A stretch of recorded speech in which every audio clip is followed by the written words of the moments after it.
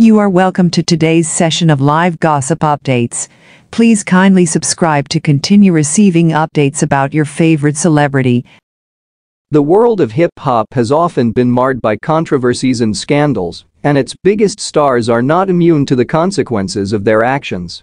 In recent months, the industry has been rocked by shocking allegations of rape leveled against the influential music mogul, Sean Diddy Combs.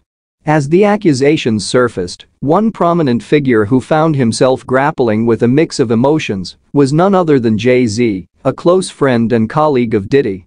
In this article, we delve into Jay-Z's reported anger, disappointment, and conflicting emotions as he confronted the accusations against his longtime friend.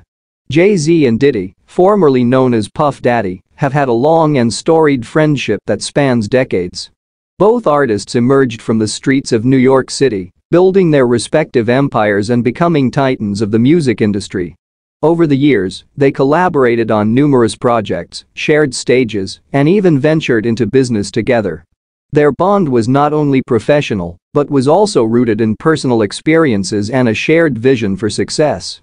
In the midst of their enduring friendship, a bombshell dropped when Diddy was accused of rape by an individual whose identity remains confidential. The allegations quickly made headlines, sending shockwaves throughout the entertainment world and leaving Jay-Z torn between loyalty and moral responsibility. Sources close to Jay-Z revealed that he was deeply angered and disappointed upon learning about the accusations against Diddy.